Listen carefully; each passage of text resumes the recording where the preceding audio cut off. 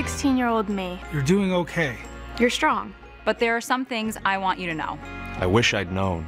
That one bad sunburn before you turn 18 doubles your chances of developing melanoma. That fair skin and red hair means that you're at a higher risk of getting it. As if ginger people didn't have enough problems. That you're at higher risk if you've got more than 50 moles. And if you have a weakened immune system or a family history of skin cancer.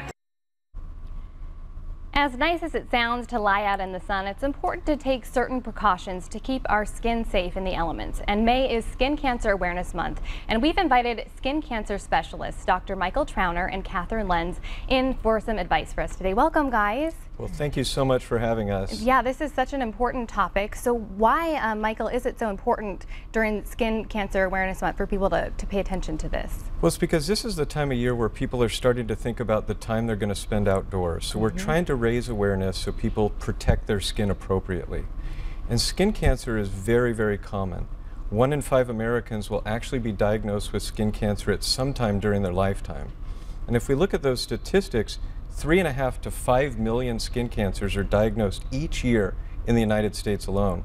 That means that every day, 9,000 new patients are being diagnosed with skin cancer.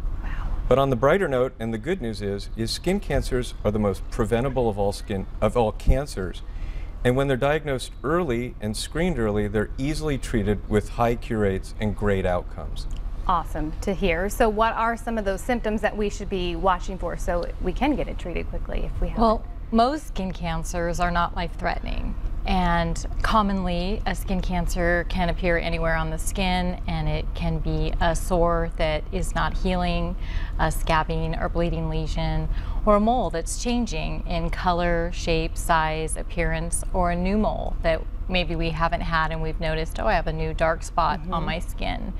I personally recommend that everyone get familiar with their skin and take a look, take time to look in the mirror, maybe get a hand mirror to look at your backside or get your partner involved yeah. and have them look at your backside. Get familiar and if you haven't done that, maybe do it daily or daily for a week uh, weekly for a month and then monthly and then you're very familiar. So if you notice a change or you see something that doesn't look like it had been there a month ago or a week ago, it's a good idea to get it evaluated. And I told you that I did that. Yes, and, and it ended did. up being precancerous. Yes. So it was a good thing. Um, that's such good information. And if someone does see some symptoms, what should they do? Where should they go? My recommendation is that if you have a concerning lesion, as you did, that you immediately see a skin cancer specialist, a dermatologist.